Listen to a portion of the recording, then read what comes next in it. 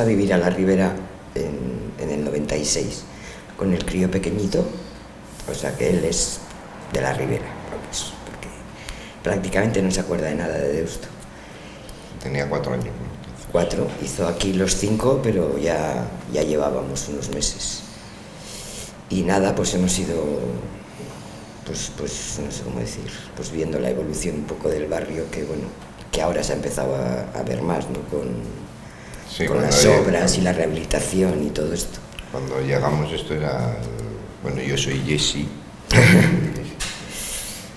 Cuando llegamos esto era el fin del mundo. Yo, Bueno, yo, de- perdón, yo de hecho, hasta que no vinimos a comprar el piso, no había estado nunca en la Ribera.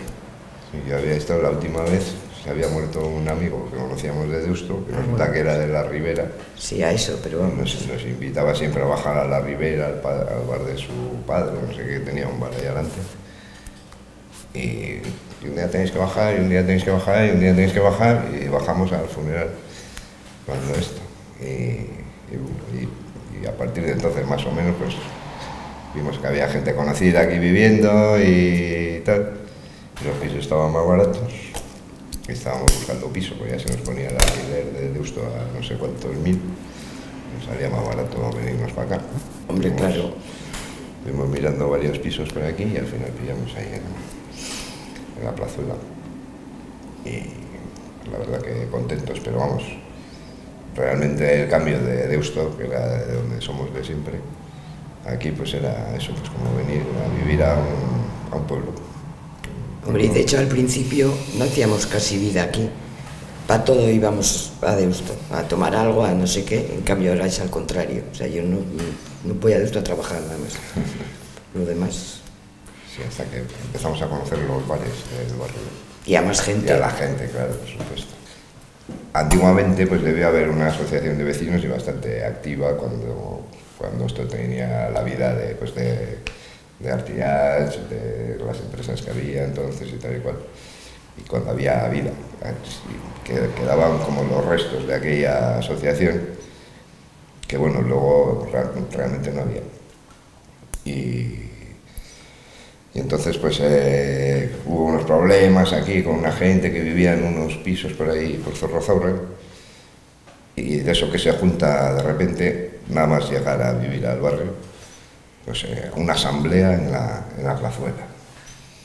Y todos los vecinos reunidos ahí en la plazuela, pues por- había un problema en el, en el vecindario.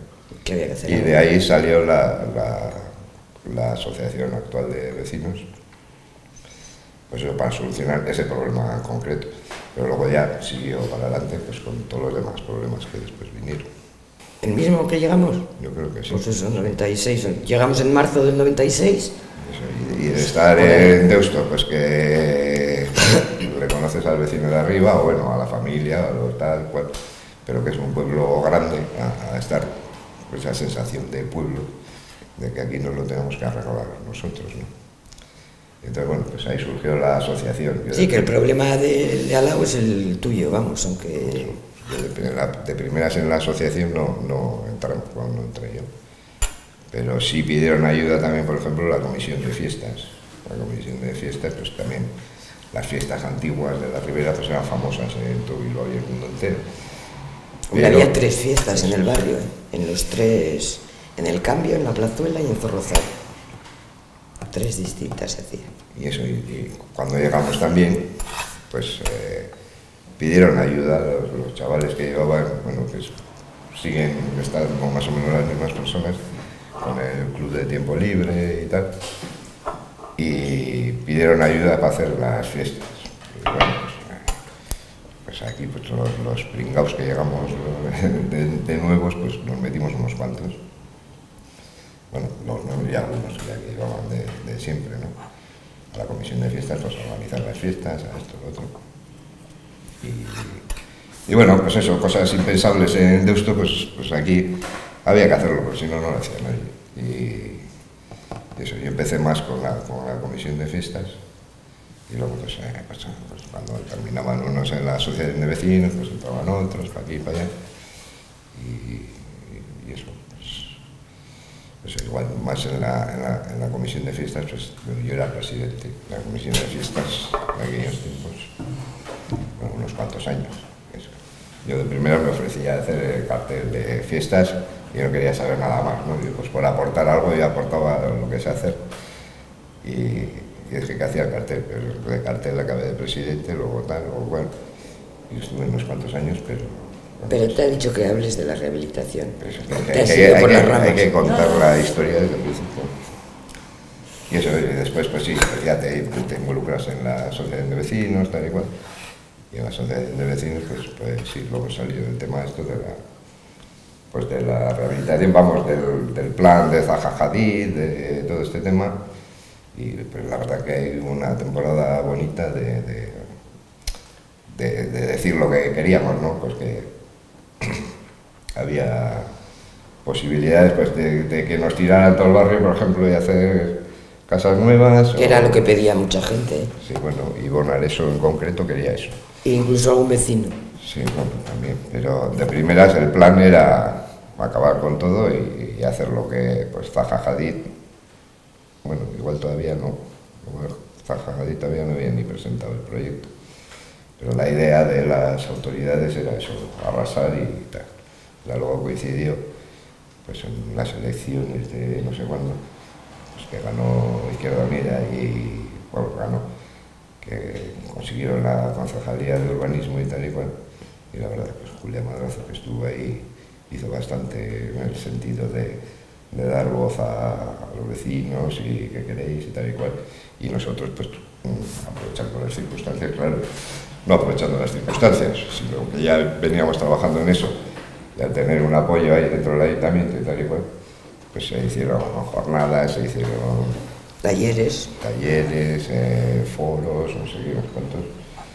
Y, y- y bueno, pues fuimos consiguiendo pues lo que hemos conseguido hasta que la crisis económica ha dicho basta. Y eso, bueno, eh, nosotros, digamos, somos de los primeros que hemos conseguido terminar las obras. Hay unos cuantos portales más y otros que están terminando. Y la verdad que estuvo o sea, una, una oportunidad que, que- que, pues, que hemos aprovechado. Ahora la pena. Es las casas que faltan, que ahora la subvención es muchísimo menor. Y están ahí, pues gente que pues, o anda un poco... Y que tiene ya gastado el dinero en el proyecto y el todo. Y ahora Vamos, que ahora resulta- las condiciones han cambiado, han cambiado radicalmente. Pero vamos, eh, se supone que esto seguirá para adelante. También está todo muy parado con, con lo demás, ¿no? que, que en teoría, pues, cuando se hicieran pisos, pues vendían, sacaban dinero para pagar esto, para pagar lo otro. Y bueno, pues, pues aquí estamos. No es que estemos parados, porque la- se siguen terminando obras, pero pues eso, hay gente que todavía no puede meterse porque no están claras las, las condiciones actuales ¿no? para acceder a las ayudas y tal. Vamos, para acceder sí, porque no, no están muy claras cuáles son las ayudas o qué cuantía. qué- La subvención Ah, bueno, solo la cubre la rehabilitación. No, pero bueno, eso fue... Eso fue ¿En el barrio, dices? Eso era la petición del barrio, de no tirar, no tirar casas, sino pues eso, rehabilitar, y porque queríamos seguir viviendo aquí. La otra opción era, era derribar todo y que nos dieran pisos en no sé dónde, o aquí o allá, pisos de protección oficial, bueno, dar, que suele dar siempre. Mentira, no te dan, sino que te, te- te- pues te trasladan a otro sitio y encima tienes que, que pagar, ¿no? Y nosotros queríamos seguir en Y el barrio. el y barrio yo, y yo en concreto quería en mi casa. Y la asociación... Para eso la compré, porque me gustó mi casa. La Ah, asociación no querías que de vecinos fue. La asociación de vecinos, vamos, fue fundamental para eso, porque esa fue realmente la, La lucha. Que Lo que queríamos era quedarnos a vivir en el barrio. Con nuestras en casas. las viviendas que, que vivíamos. En el plan al final, con el, el proyecto de rehabilitación y tal, pues hay alguna casa pues, que no tiene remedio, pero pues, pues son las menos. ¿no? Pues, Tres, así me parece que son sí. en todo el barrio. Y bueno, igual luego económicamente y viendo después cómo, cómo ha sido la cosa, pues igual, yo qué sé, pues igual hubiera sido más barato tirar todo, Pues hacer probable. todo nuevo Pero esa solución, por ejemplo, no, no, se, no se concebía. Era tirar todo y os vais de aquí y fuera. Entonces eso, pues nos negamos, bueno, hubo hasta, yo creo que hubo medio medio elecciones, digamos, o bueno, eran las asambleas que hacíamos y pues Sí. la gente votaba. lo Sí, que encuestas quería, de lo que encuestas, querías, y, sí. bueno, una encuesta también de, de la Universidad del País Vasco, con gente. Vamos, que las cosas se hicieron bien, pero bueno, paso lo visteis mejor a los, que, a los que sigan en la asociación de vecinos o a los que lo llevaron más directamente, pues hablando con todas las, las autoridades de aquí y de allá, o organizando, organizando la pelea, la lucha y todo eso. Yo la verdad pues estaría encantado que empezara mañana mismo aquí al Yo no. rascacielos. No, a mí me gusta como está. Yo no quiero que vengan aquí 15.000 personas a vivir, porque ya va a ser pues como un deusto. Y a mí lo que me gusta de esto es eso, que somos poquitos, nos conocemos todos. Incluso pasa alguien que no conoces y dice, ¿y este? ¿De dónde ha salido? O sea, a mí me gusta eso, como una familia grande. Sí, pero nosotros vamos, nos vamos a quedar aquí. O sea, los habitantes, además esto va a ser el casco viejo nuevo. Sí, ya, pero, pero no va a ser lo mismo si aquí hay un meneo de mucho cuidado. Pues Hombre, hay de cosas que cuidado, sí. pero vamos a tener aquí pues que, una- que haya la mano de- que haya pues alguna tienda o más servicios, vale. Pero lo de que esto se haga un deusto, yo, pero bueno, eso Pero un deusto no, porque va a ser distinto que deusto. Este es Sí, el casco claro, viejo pues, de la ribera.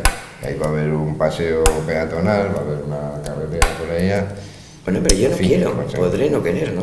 Sí, pero- Además, porque yo no quiera. No, pero vamos, eh, si en estos años ha mejorado el barrio, porque bueno, por lo que cuentan las antiguas, los antiguos habitantes o los a- a- y actuales habitantes, pero- pero los que llevan aquí toda la vida, el estado de abandono que estaba esto, y pues, si ves fotografías antiguas de cómo eran las aceras y cosas de esas, de, de alucinar. Hombre, es que nunca les han dejado ni arreglar las casas, ni chapuceramente siquiera, porque como no se sabía qué iba a pasar con esto, pues por eso ha llegado al, al grado que, que ha llegado. Porque es que no les dejaban ni, ni, ni arreglar el tejado. No, si total, si lo irán a tirar, si no se sabe qué va a pasar. Sí, no, había, no estaba definido. Hasta que la cosa se puso grave, claro. Ya las casas tienen un aguante también, si no las cuidas. No, estaba, bueno, lo, que, lo que ha movido todo esto es pues, el, el- el que se dieran cuenta que era la, la oportunidad de Bilbao, el único sitio donde podría desarrollarse más Bilbao, porque no quedan más sitios en lo que es Bilbao. Y claro, pues, lo primero era derribar y hacer nuevo. Ahora mismo estaría esto todo en ruinas o todo derribado, esperando a que si hubiera, si hubiera salido esa idea, No estaríais vosotros tampoco. esperando a que, a que eso.